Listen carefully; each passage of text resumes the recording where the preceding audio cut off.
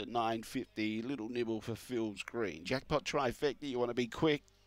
Got about three seconds, if that. Green light goes on. No more bets, thank you. Favourite out in the pink. Can he get back into the winners list? Fantastic, Axel. Set to go. Away and racing. He began quicker than Kisses for Cloder. He's got the lead. Is his real chance here. He's out in front by four lengths. Kisses for Cloder cut across the others. Checked badly was double attitude. And also Blastoise was checked as well. And uh, likewise with Weblek Nick.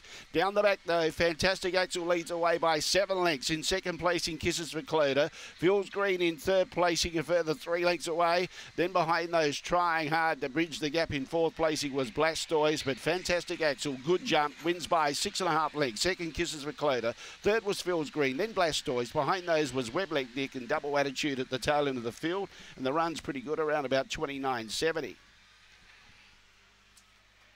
8, 7, 1 and 4, the judges' numbers.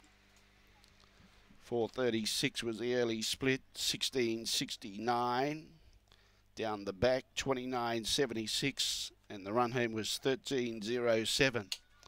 8714, 8714. Jumped nicely, fantastic Axel found the lead, and that's his best position. A white and black dog, December 2016. KC and all had a fantastic dotty.